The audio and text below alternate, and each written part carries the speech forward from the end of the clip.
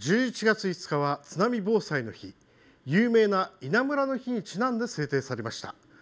今日は津波に関するマークを確認しておきましょう。ではまず第1問。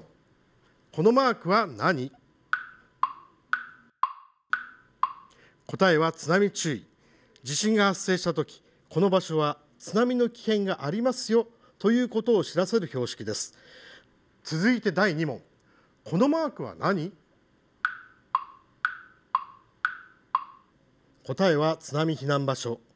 ここは津波の心配がない高台にありますよという場所のことです。